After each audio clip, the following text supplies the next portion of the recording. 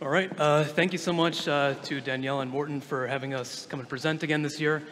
Um, this is always one of the most enjoyable conferences of the year. The energy, the demographics we get from around the world.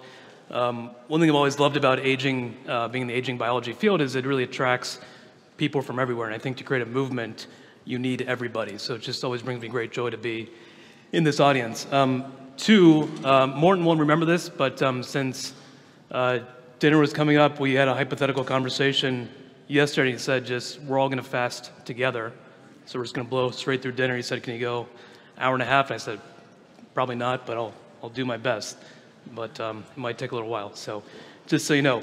Um, also, just as a treat, um, don't worry about taking pictures. I've got a QR code at the end if you want the slides. So let's just make it easy for everybody. Okay? Okay.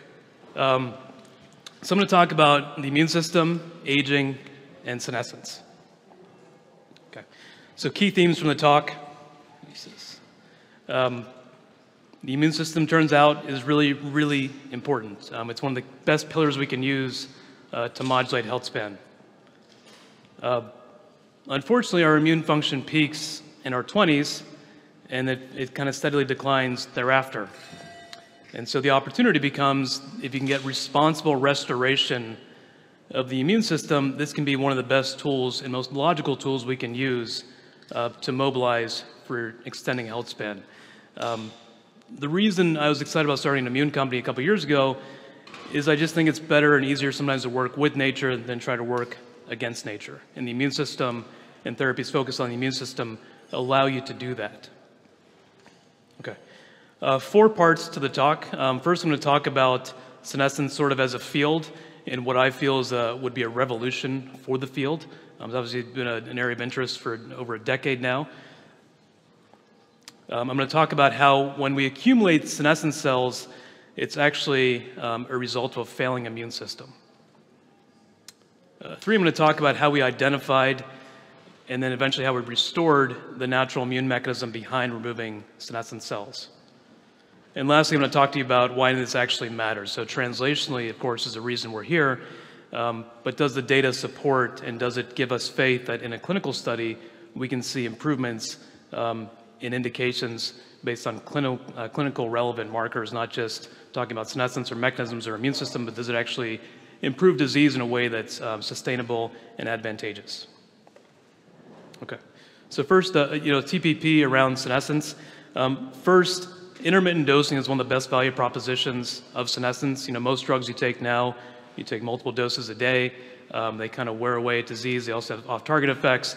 Um, but intermittent dosing is one of the best value props if you have a good senescence program.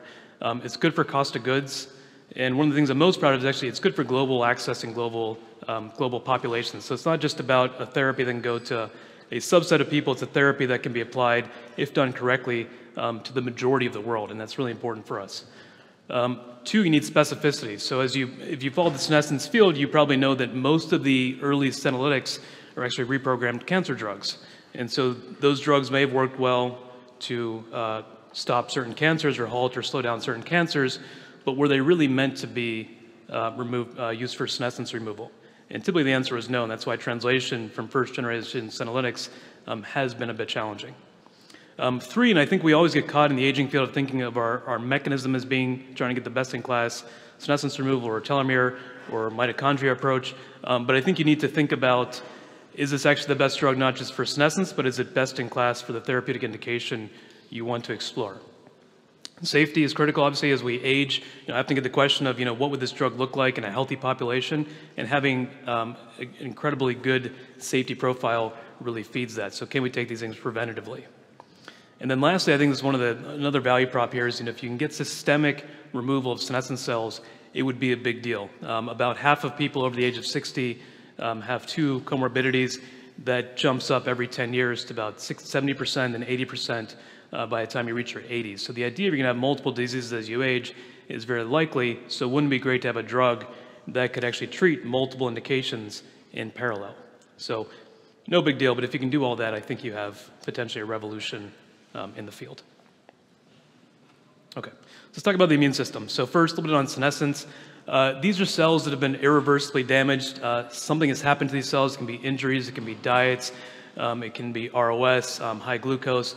But the net result is that these are cells that have been uh, put into permanent cell cycle arrest. And that's okay, that, that's normal. Um, and over time, what these cells do is they start to become, uh, from an evolutionary perspective, they become inflammatory. And the idea of the inflammation from the senescent cells really to try to um, help the body identify that there's a problem in that, in that tissue or in that organ and recruit help or recruit the immune system um, towards that area where, where help is needed. Um, and so that again, that is okay. That, you know, cells becoming senescent is okay. Uh, the senescent cells becoming uh, inflammatory can be okay as well. And the issues with age and with disease as these things um, uh, start to slow down, uh, the immune system begins to fail, which means the senescent cells are they're there originally to show um, a problem area, do not get removed effectively or quickly. And so it's really an immune system failure that leads to the accumulation of these senescent cells.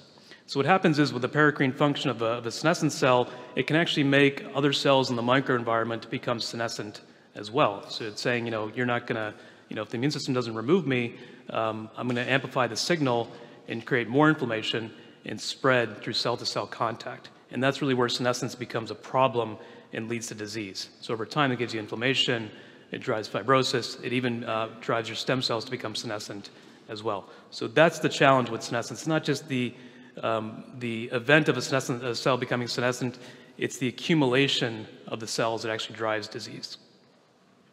Okay. Uh, these are indications where senescent cells have been removed in preclinical models uh, where it's been shown to impact and improve endpoints. There's also indications if you look at human tissue where it's shown that senescent cells will track um, chronologically with disease. And so these are indications where it's thought that senescent cells are actually causal to human conditions. So this gives you a roadmap of where you can apply good senescence technology. Okay, so what do we do about this? So first of all, the, the idea that the immune system has been interesting for removing senescent cells has been around for a while. It's always been a, a talking point. Um, when I used to go to senescence conferences seven plus years ago, we would always say, it'd be great um, if, the, if you know, we know the immune system does this, wouldn't it be great if we could figure out how to modulate that therapeutically?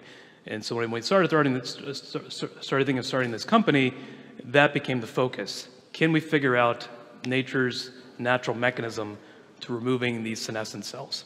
And so this has been written about for many times, often with a question mark at the end, or often pointing to um, some immune cells that people have tried but not been able to translate. Um, it's just a sampling of papers.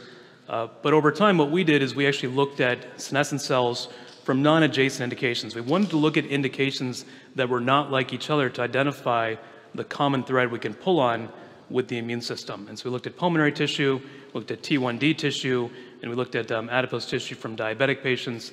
And we figured out, um, by using single cell analysis, we figured out, this is a, about nine months worth of work condensed into about 20 seconds, so I'm gonna put the paper up here if you wanna read it. Um, we figured out that natural killer T cells can actually regulate very effectively the removal of pathological senescent cells. And that's the data I'm gonna show you shortly. Okay. So just a little time lapse of, of how we think about this. You know, you're young, you're healthy, you're disease-free, um, your immune system works quite well. You see very little senescence accumulation in your first 10 to 20, 25 years of life. But as I mentioned in the beginning, you know, by, you, by the time you hit your mid-20s, your immune system starts to slow down a little bit, and that opens the door for the accumulation of senescent cells.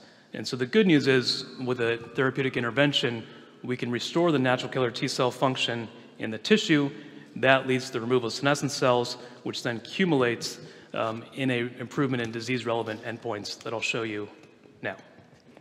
Okay, so the data, so the, the, the most important stuff.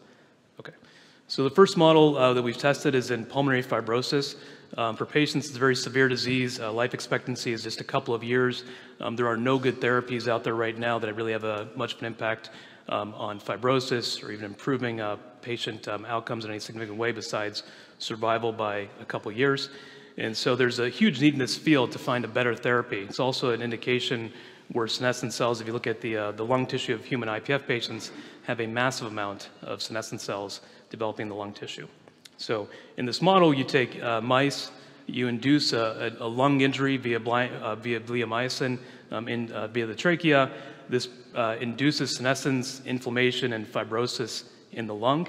Um, this is an acute model, so it happens relatively quickly. Um, we give relatively high dose of bleomycin, so the injuries we're giving the mice um, are just on the edge of, uh, of, um, of, causing mortality, but typically the, the animals um, will survive uh, the study even um, when left untreated. And so what happens is uh, very quickly the disease accumulates, and by day 10, we give a single dose of our drug. So it's just the whole regimen here is one single dose. Um, at day 10, you've started to, the disease has actually started to plateau in the mice. You're already seeing senescence inflammation in fibrosis. So day 10, we give one dose. It's a small molecule drug. Um, it's given uh, subcutaneously. And the first thing we want to look at is did we actually activate the NKT cells in the lung? So that's down here. So on the bottom left are your control animals. They've not been treated. Uh, the green bar are the animals uh, that have been injured with bleomycin and given fibrosis, but no drug treatment. Then the animals in the orange are animals we've actually uh, injured and also treated. So your treated group sees an increase in the NKT cells of the lung, and that results in a senescence removal um, that is significant. So you see again the black, healthy animals, untreated, uninjured, very low levels of senescence. You see the spike with the uh, injured group without treatment. Then you see when we treat them, it comes down uh, quite quickly within four days. Okay, so now does it actually matter for an endpoint that we'd want to see uh, going forward? So again, uh, the regimen is up top, uh, single dose at day 10, and at day 21 we look at inflammation and fibrosis. So key endpoints you'd want to see in the clinical studies. So TNF alpha uh, comes down back to homeostatic levels.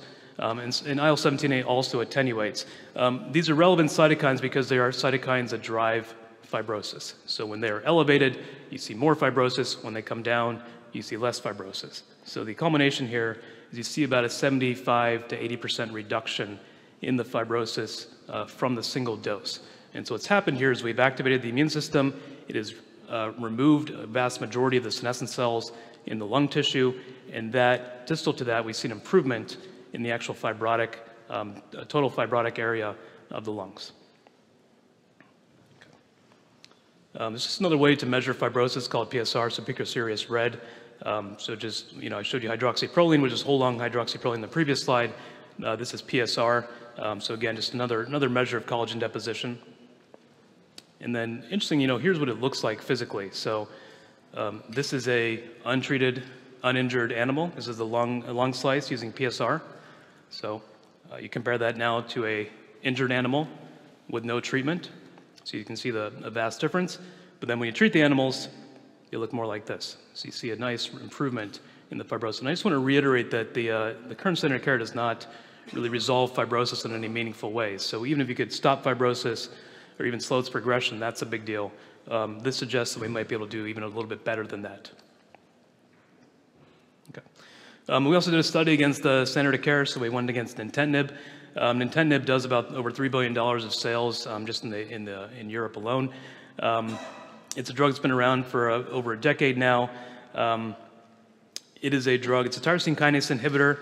Um, like I said in the beginning, it, it can improve survival in patients uh, for a couple years, but in terms of improving fibrosis or actually uh, clinical uh, outcomes, um, it's really not that effective there.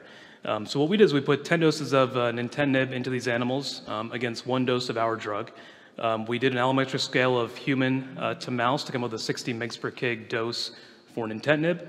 And um, even when you give 10 doses of nintedanib, as, you, as we can see um, in the uh, pinkish, orangish, pinkish bar, um, really no effect on fibrosis. Uh, when you give one dose of our drug, we see a dramatic effect on the improvement in, in, fibrosis. So we believe that this can replace and become a new standard of care uh, for pulmonary fibrosis based on the efficacy alone. Okay. Um, so second model is in, in uh, type 2 diabetes. So this is a high-fat diet. Um, very different model in these animals. Uh, we, we put them on high-fat diets uh, for about four months. We don't intervene during that time. The mice become obese. They get senescence accumulation in the adipose tissue. Um, they have high glucose uh, uh, intolerance. They're highly insulin resistant. And the question becomes, you know, after that happens, can we treat these animals and see a reversal in that phenotype? So day zero, you initiate high-fat diets. That happens for four months. At day 120, we give one dose of the drug. Again, we look at NKT activation. So you see in the high-fat diet animals we've treated, we see a nice um, increase in the NKT levels in the adipose tissue this time. So not the lung, but now the adipose. Again, we see a nice reduction in the senescent cells.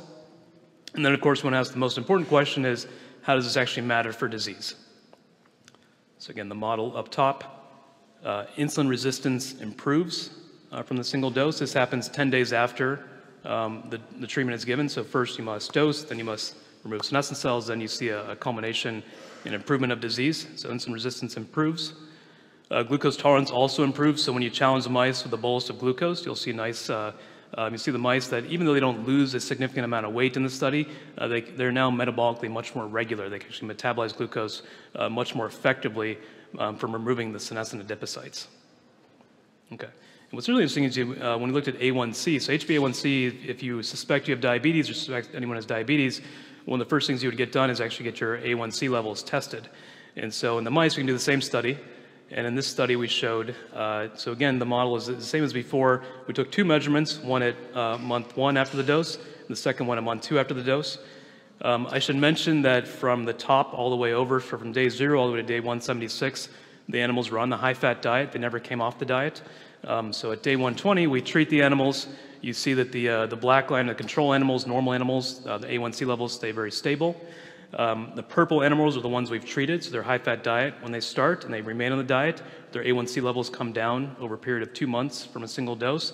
Um, and as you'd expect, in the green line are animals that we have not treated, their A1C levels as they remain on the diet um, increase over those two months. So uh, we see about a two month effect um, from the single dose just by removing the senescent um, inflammatory insults um, that can drive uh, diabetes. Okay. So what's the value prop here? Um, everything I showed you today is single dose efficacy with a small molecule. So again, as I mentioned in the beginning, you know, cost of goods, um, intermittent treatments um, is just a different way to think about medicine. It's, in my opinion, it's, it's, one of the best paradigm shifts we could have to not be reliant upon taking a medicine every single day.